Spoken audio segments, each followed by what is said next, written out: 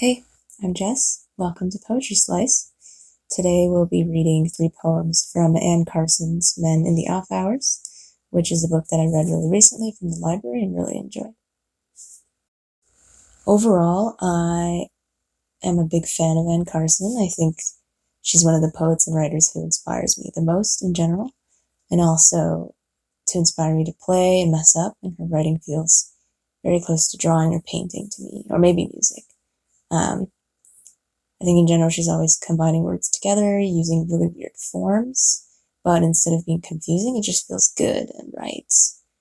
Um, especially if you're reading it that way out loud. So there's so much playing happening in all of her writing, so I'm pretty obsessed with it. Um, and also, this isn't to say that I understand or have even done much work at all in trying to make sense or interpret the stuff that she's saying. I just really like the vibes in general. And I think sometimes when you're engaging with art, that's completely fine and completely enough too. Sometimes experiences that aren't articulated or things that remain mysterious can stick with you in very significant ways. So, not everything needs to be categorized or, packaged into 140 characters or, or even shared with someone. So, the first poem that we're reading is called Interview with Hara Tamiki. Death. Death made me grow up. Love. Love made me endure. Madness. Madness made me suffer. Passion. Passion bewildered me. Balance. Balance is my goddess. Dreams. Dreams are everything now. Gods. Gods cause me to be silent. Bureaucrats. Bureaucrats make me melancholy. Tears. Tears are my sisters. Laughter. I wish I had a splendid laugh. War. Ah, war. Humankind. Humankind is glass. Why not take the shorter way home? There was no shorter way home. So, actually, when I was thinking about this poem, I actually went and did some very cursory research uh, and found out that um, Hara Tamiki was a Japanese writer and survivor of the bombing of Hiroshima, and he also has really famous work too. Um, the best known, which is called Summer Flower, uh, which was an account of the devastation that he witnessed in Hiroshima. So I pretty much just read the Wikipedia article about him. So if you're curious about him, you can do the same. Um, but in general, I'm always really appreciative of Anne Carson's interview pieces. Uh, they feel really present to me, and how, for the most part, at least the, the stuff that I've read and noticed, she doesn't really write me or myself or Anne. She almost always frames her dialogue with I, and that's very interesting to me. But I picked this this poem in particular to read just because I like how it feels. Interviews are a dialogue between two people, and usually one person is always asking questions, and the other is answering, and sometimes that can be very good and illuminating. Um, like an example I can think of is Krista Tippett's podcast on being, where she asks very generous questions of other people who come onto her show. But in general, like in, interviews are like kind of an inherently unbalanced exchange, but here she doesn't have like any question mark at all. It's just a prompt almost.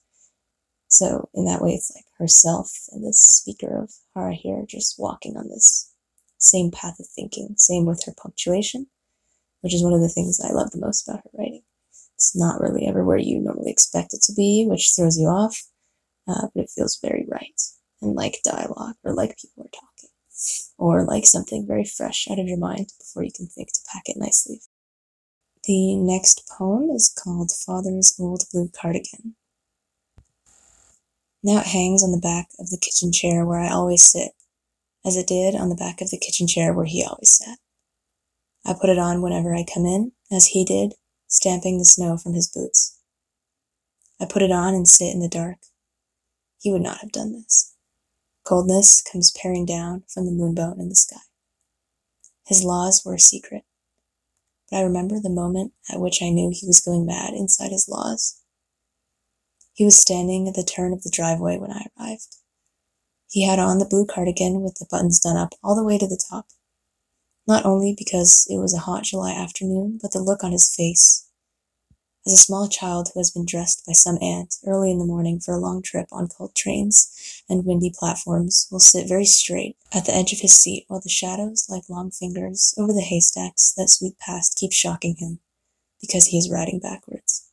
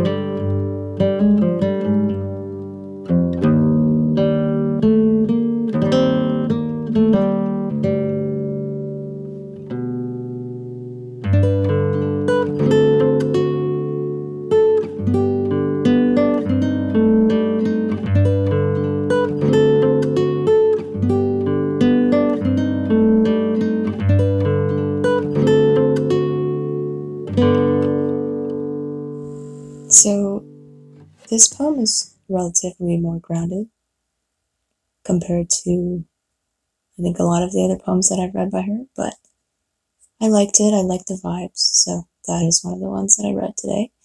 Um, and it's made up of these stanzas of three lines, but they often have one line that's particularly long, or if you look at the poem from far away, it's got these like jagged peaks. And throughout the whole thing, she's weaved this interesting feeling of like herself and then her dad and then her dad and then herself. So yes, part of it is, is playing with time in an interesting way, which she does later when she sees her dad almost as a little kid.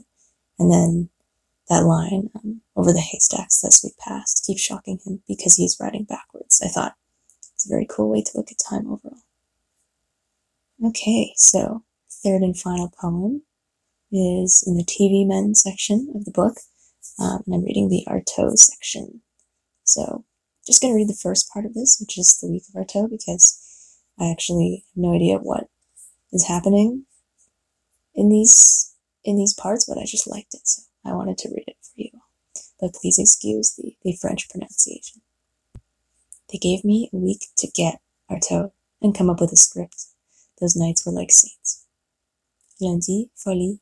Mardi, chair mercredi visage, jeudi Mexique, vendredi Derrida, samedi sang, dimanche éternel, lundi. Artaud is mad. He stays close to the madness. Watching it breathe or not breathe, he deduces laws of rhythm, which he divulges to his actors. They are to achieve a mastery of passions mathematically. Be Artaud only sane. Observe the minutest push and pull within themselves of muscles grazed by emotion. Learn to render these as breath. Discover all that is feminine, all that reaches forward in supplication within us, the way a diver digs his heels into the ocean floor in order to rise to the surface. There is a sudden vacuum where before there was tension. For Artaud, the real drawback of being mad is not that consciousness is crushed and torn, but that he cannot say so fascinating as this would be while it is happening, but only later when somewhat recovered, and so much less convincingly. The mad state is, as he emphasizes over and over again, empty, teeming with emptiness, knotted on emptiness, immodest in its emptiness. You can pull emptiness out of it by the handful. I am not here. I am not here and never will be. You can pull it out endlessly. Le théâtre est le seul endroit au monde où un geste fait ne se recommence deux fois. Mardi. A primary characteristic of pain is its demand for an explanation. Knife wounds, assault with an iron bar, shock treatments, stigmata, scraping. He expresses satisfaction. A large part of his correspondence is addressed to doctors and their wives. J'ai mal implies on m'a fait mal. His favorite text from Van Gogh's letters to Theo describes drawing as a passage through an iron wall by force of will. For will, Artaud reads clou, une heure pour le caillou, mercredi. He makes profound use of his face. It is something of fire on which his soul wrote. Portraits show an icy dandy, modeled by drugs and deprivation it took on an allure. Screams are heard in the most up-to-date hospitals taps his little leather heels together in the snow. Look over there, look down, look at me. Not too sad. That's good. Bit of a smile, there it is. That's what I like. Now very pensive, eyes lower. Now look up, more. Yes, yes. Psychiatry was invented as a defense against visionaries. Poetry, he lifts the plastic to show me, comes from a black lump within the body, sweats itself out. Body is pure. Everything loathsome is the mind, which God screws into a body with a lascivious thrust. Here's a sketch of himself as Bones, dated December 1948. He died in March. And a bit of lung for flashing light up onto the face from underneath. I beg you. Ne me représente en aucune façon. Je dis. In Mexico, it is useful to have the obsession of counting for it gets lost in the membrane which shone like pulverized sun, and only by adding up shadows can he find his way back to strange centers. From the dirty yellow table at which he sits to what it was on the forest floor. Servant full of pity, pearl red, blood of all that matter has endured before Artaud. Like many a white man here, he wants to believe in God's birth, stare at it for hours. Car je fus un cas, mais pas roi. Vendredi, the unique, as Derrida puts it, eludes discourse. Artaud's adventure resists clinical or critical exegesis. It is a protest against exemplification itself. Artaud habitually destroys the history of himself as an example. History of a difference between his body and his mind. History that doctors and critics are combing and scouring after to comment on it. He wants both to speak and to forbid his speech being spirited away and placed in an order of truth for commentary. Artaud knew that all speech fallen from the body, offering itself to understanding or reception, offering itself to spectacle, is stolen speech. To speak in such a way that the theft blocks itself. His theater of cruelty is where he stages public attempts at this. But the prior stage is mind. Something is destroying my thinking, something furtive which takes away from me the words which I have found. To have thoughts which even he himself will not want to steal and repeat as speech. He must become so boring or abhorrent to himself that his language does not eavesdrop on its own calls. What holes, and made of what? Samedi. To the scandal of language he does not consent. False etymology makes him bold. He says, unglue words from the sky, car après, dit poématique, après viendra le temps du sang, puisque Emma, en grec, veut dire sang, et que poème doit vouloir dire après le sang, le sang après. Faisons d'abord poème avec ça. For after, said poetically, after will come the time of blood. Since Emma in Greek means blood, and poema ought to mean after the blood, the blood after.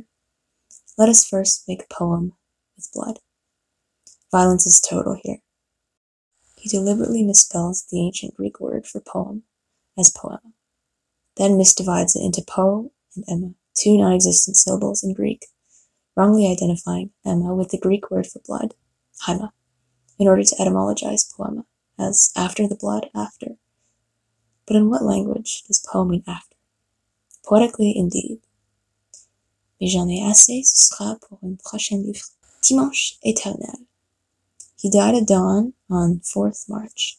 with spring snow on the ground, alone in his pavilion, seated at the foot of his bed, holding his shoe. His body did not burst into unforgettable fragments at his death, no. That summer was throughout Europe remarkable for its tempests. Here I am. What lightning! was what people said as they strode along. Et en effet, c'est trop peu pour moi.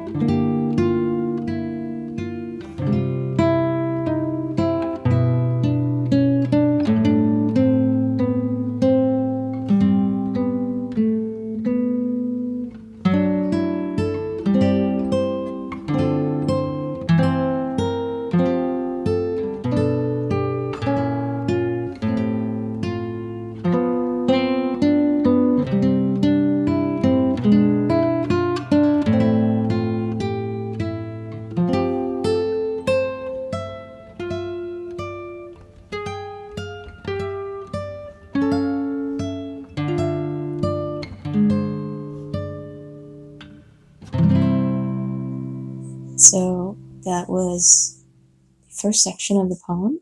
Um, and also, I just looked up who Artaud is, and he is, according to Poetry Foundation, one of the most influential figures in the evolution of modern drama theory. Um, and I think he was also a poet. So, I don't really have very many thoughts on the last one. I just thought that it was so interesting to read when I first read it, and so I thought it would be nice to share. But yes, Overall, a very interesting collection and vibrant as usual. So much playing in her work. I can't get enough of it. So, that is pretty much all for this episode. I hope you enjoyed, and I will see you next time. Bye.